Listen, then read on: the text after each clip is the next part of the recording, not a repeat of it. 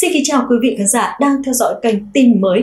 Phương Thúy xin kính chúc quý vị có một ngày làm việc năng động và hiệu quả. Còn ngay bây giờ, hãy cùng chúng tôi điểm lại những thông tin trong 24 giờ qua. Đừng quên ấn like cũng như đăng ký kênh để không bỏ lỡ bất cứ thông tin đáng chú ý nào nhé.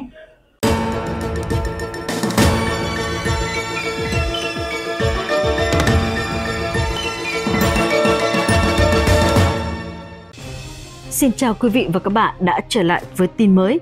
Với những tin tức về đợt lũ lụt kinh hoàng đang diễn ra tại Trung Quốc, Thưa quý vị và các bạn, mưa lũ nhiều tuần qua đã làm ảnh hưởng đến 27 trong số 31 địa phương cấp tỉnh của Trung Quốc với gần 38 triệu người. Thiệt hại ước tính lên đến con số là 12 tỷ đô la Mỹ. Hầu như năm nào Trung Quốc cũng hứng chịu ảnh hưởng của ngập lụt trong mùa mưa. Thế nhưng tình hình năm nay dường như đã kéo dài hơn và nghiêm trọng hơn. Các trận mưa lớn kể từ tháng trước đã khiến ít nhất 161 người chết và mất tích, buộc gần 16 triệu người phải đi sơ tán chỉ tính trong tháng này. Theo số liệu của chính phủ Trung Quốc công bố, truyền thông Trung Quốc mới đây đưa tin lưu lượng nước đổ về hồ chứa đập Tam Hiệp vào ngày Chủ nhật đã lên tới 65.000 mét khối một giây sau khi trận hồng thủy tức lũ số 3 hình thành ở thượng nguồn sông Trường Giang vào ngày trước đó. Như vậy, đây là trận lũ lớn nhất đổ bộ về hồ chứa Tam Hiệp kể từ lúc miền Nam Trung Quốc hứng mưa lũ hồi đầu tháng trước tới nay. Trong trận lũ số 2 đầu tháng này, đỉnh lũ là 57.000 mét khối một giây. Do mưa lớn liên tục, mực nước tại hồ chứa đập Tam Hiệp đã đạt 164,17 mét, vượt quá cảnh báo lũ hơn 19 mét. Theo dự báo của tập đoàn Tam Hiệp, nước lũ sẽ giảm xuống sau khi đạt đỉnh mới hôm Chủ nhật vừa qua nhưng có thể một đợt lũ khác sẽ đổ về vào khoảng thứ tư tại thành phố Trùng Khánh. Tính đến sáng Chủ nhật có 21 người đã thiệt mạng do mưa lũ, hơn 25.000 người đã phải sơ tán và 1.231 ngôi nhà bị phá hủy. Nhiều cửa hàng bị ngập trong nước. Chính quyền tỉnh An Huy, miền đông Trung Quốc đã điều động hàng nghìn cảnh sát, quân nhân và tình nguyện viên để phục vụ công tác cứu trợ, khắc phục hậu quả sau mưa lũ. Khi mưa lớn liên tục gây ngập úng nghiêm trọng, lũ quét phá hủy nhiều đoạn kè bao sông tại địa phương chính quyền tỉnh An Huy đã phải tăng mức độ ứng phó với lũ lụt lên cấp cao nhất vào chiều Chủ nhật sau khi Sở Tài nguyên nước tỉnh cảnh báo mực nước sông Dương Tử đã vượt trên mức cảnh báo gần 3 mét tại nhiều nơi. Mưa lớn hôm thứ Bảy đã gây ngập lụt nghiêm trọng nhiều nơi tại thành phố Lục An, khiến giao thông tại đây hoàn toàn tê liệt. Lực lượng chức năng thành phố đã đưa ra kế hoạch khẩn cấp cử các cán bộ tới các điểm ngập nặng để điều tiết giao thông, giải cứu người và xe bị mắc kẹt. Cục Dự báo Khí tượng địa phương đã đưa ra báo động đỏ vào sáng Chủ nhật, khiến mức độ kiểm soát và ứng phó mưa lũ tại đây được nâng lên mức cao nhất. Hơn 250 quân nhân thuộc Quân đoàn Cảnh sát Vũ trang tỉnh An Huy đã được điều tới huyện Đông Chí của thành phố Trì Châu sau khi mực nước hồ Chili đạt 20,98 m, vượt mức cảnh báo. Anh Siang Khi Song, Cảnh sát Vũ trang tỉnh An Huy cho biết – Hiện tại, ưu tiên hàng đầu của chúng tôi là gia cố, kè bờ, sửa chữa những chỗ dò dỉ có nguy cơ sạt lở nguy hiểm, bảo vệ tính mạng và tài sản của người dân quanh vùng, cũng như 4.000 hecta đất canh tác ở huyện Đông Trí. Sau 8 tiếng ròng rã, hơn 9.000 bao cát đã được đưa tới để gia cố, kè bờ. Tình hình khu hồ Chile cơ bản được kiểm soát. Một phần kè sông Quang Phục chảy qua huyện Seli dài 600 mét cũng đối mặt với nguy cơ sạt lở do mối mọt, đe dọa cuộc sống của hơn 15.000 dân địa phương. Gần 100 người trong đó có 16 thành viên của hội bơi mùa đông địa phương đã được điều tới hiện trường thực hiện hoạt động sửa chữa dưới sông. Thành phố Vua Hồ cũng đã điều động lực lượng quân đội tới gia cố đê dưới sự giám sát của các chuyên gia sau khi mưa lớn nhiều ngày làm mực nước ở các sông trong khu vực dâng lên mức báo động. Thưa quý vị, nhiều khu vực rộng lớn tại miền Trung và miền Đông Trung Quốc đang phải hứng chịu các trận lũ lụt nghiêm trọng nhất trong nhiều thập kỷ qua, giữa bối cảnh và tình trạng gián đoạn các chuỗi cung ứng then chốt ngày càng gia tăng và thiệt hại kinh tế ngày càng nặng nề. Thành phố Vũ Hán, miền Trung Trung Quốc và các tỉnh An Huy, Giang Tây, Chiết Giang cũng đã ban bố cảnh báo đỏ do mưa lớn đã khiến mực nước các sông hồ tràn vào. Tại Trung Quốc, các địa phương ở miền Nam và miền Đông nước này đã nâng cảnh báo mưa lũ lên mức cao nhất, mức cảnh báo đỏ chính quyền Vũ Hán khuyến khích cư dân thành phố cần đề phòng thận trọng do mực nước dâng nhanh đã tiệm cận mức báo động với việc chứa lượng nước lớn hơn nhằm giảm nguy cơ lũ lụt. Mực nước tại đập Tam Hiệp đang cao vượt mức báo động 14 m với vận tốc dòng chảy trên 60.000 m khối trên giây. Con đập lớn nhất thế giới Tam Hiệp đang gồng mình trước đợt mưa lũ số 3 từ đầu tháng đến nay trong khi mực nước Hồ Bà Dương tại tỉnh Giang Tây hiện cao vượt mức báo động 3,5 m. Ở miền Đông, Hồ Thái Hồ gần Thượng Hải cũng ban bố cảnh báo đỏ sau khi mực nước tại đây dâng cao trên mức báo động gần 2 mét. Một đợt mưa lớn mới đang hoành hành tại khu vực Tây Nam Trung Quốc mực nước trên các dòng chính của sông Trường Giang, con sông dài nhất châu Á, Hồ Động Đình và Hồ Phàn Dương rút chậm, nguy cơ vỡ đê bao tại các khu vực này là rất lớn. Bộ Quản lý Tình trạng Khẩn cấp Trung Quốc cảnh báo đợt mưa lũ số 3 trên sông Trường Giang sẽ còn mạnh hơn. Đợt mưa lũ hồi đầu tháng, đê bao bị vỡ, nước lên nhanh đã khiến cho người dân ở trung tâm các tỉnh thành như Tứ Xuyên, Trùng Khánh, Giang Tây bị cô lập lực lượng cứu hộ đã phải giải cứu từ trên các tầng cao của trung cư, nhiều làng mạc bị cô lập. Trung Quốc đã huy động hơn 8.000 cán bộ chiến sĩ quân đội cùng với lực lượng chi viện từ Bộ Công an và các lực lượng địa phương tập trung gia cố đê bao xung quanh, cứu hộ người dân tại vùng bị chia cắt. Tại một số địa phương bị ngập lụt nặng, trực thăng đã được huy động. Trong lúc này, việc đảm bảo tính mạng người dân là ưu tiên số 1. Theo số liệu thống kê của chính phủ Trung Quốc, chỉ tính riêng trong 16 ngày vừa qua của tháng này, các đợt mưa lớn gây lũ lụt tại nhiều khu vực ở nước này đã khiến gần 15 triệu người phải đi sơ tán và gây thiệt hại kinh tế hàng tỷ đô la Mỹ. Hiện mực nước tại hơn 500 con sông đã vượt mức báo động, thậm chí một số còn tăng lên mức cao chưa từng có kể từ năm 1961. Các chuyên gia kinh tế tại ngân hàng đầu tư Morgan Stanley nhận định hoạt động kinh tế ở nhiều khu vực của Trung Quốc sẽ tiếp tục chịu tác động nặng nề do mưa lũ. Ước tính các trận lũ lụt gần đây tại các khu vực sông Dương Tử chảy qua có thể khiến tổng sản phẩm quốc nội GDP của nước này giảm 0,6 đến 1 điểm phần trăm trong quý 2 năm nay.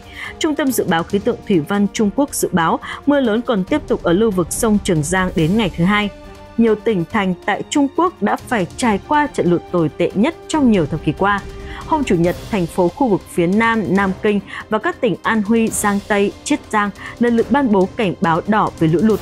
Một trong ba con đê dài hàng trăm mét ở Hồ Bà Dương, hồ nước ngọt lớn nhất Trung Quốc đã bị vỡ do mưa lớn nhiều ngày. Đoạn đê vỡ dài tới 180 mét khiến người dân sinh sống dọc theo luồng nước chảy phải sơ tán. Ngày đê vỡ, khoảng 17.500 người đã được sơ tán tới 5 địa điểm khác nhau ở các huyện lân cận. Nhiều người khác trú tại nhà người quen bên ngoài khu vực bị ảnh hưởng bởi vỡ đê. Dự kiến việc vá đê sẽ được hoàn thành vào cuối tuần này.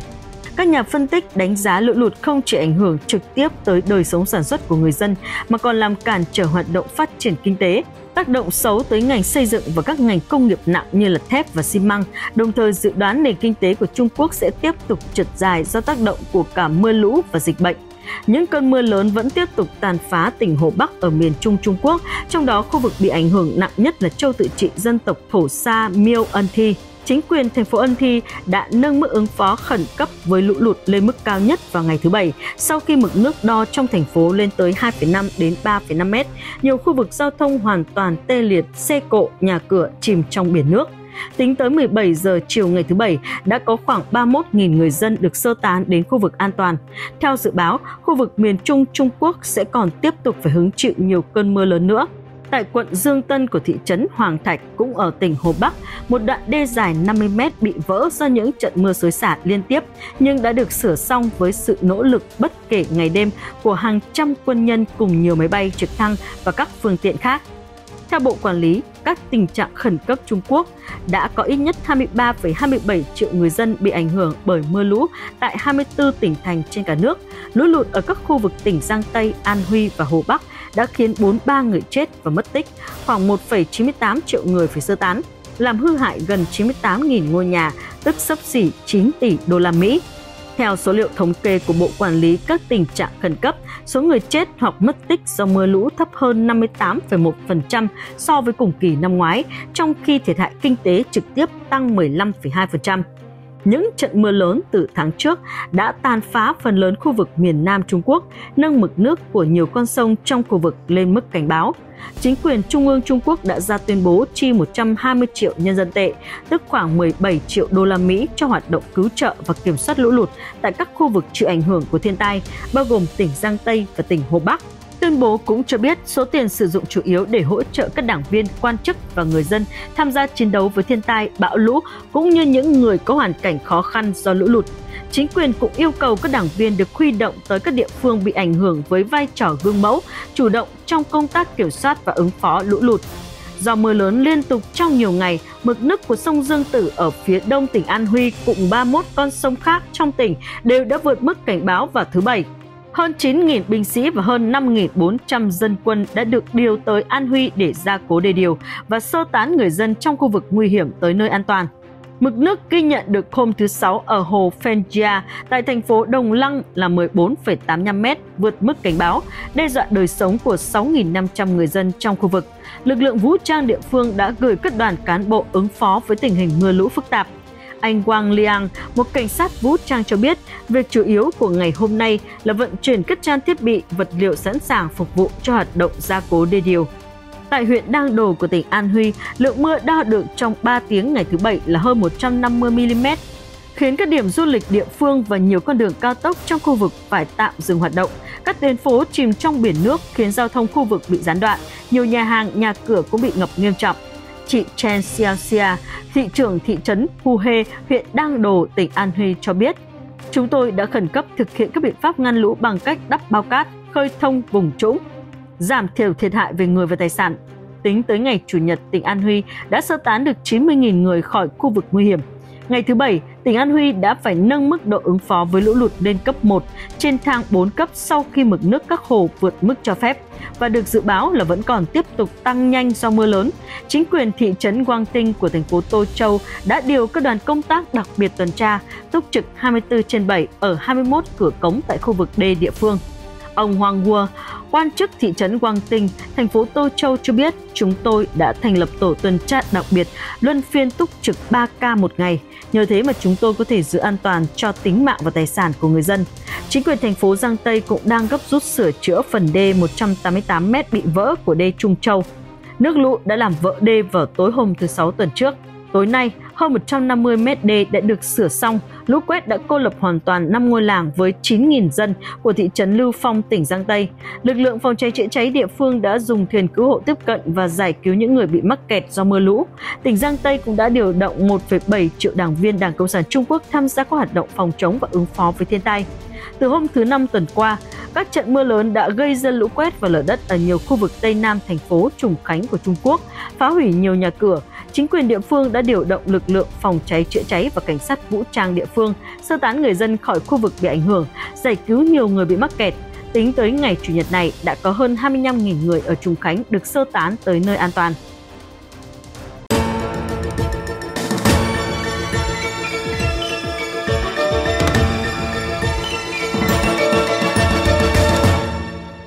Bản tin vừa rồi cũng đã kết thúc chương trình ngày hôm nay của tin mới. Cảm ơn quý vị và các bạn đã chú ý theo dõi.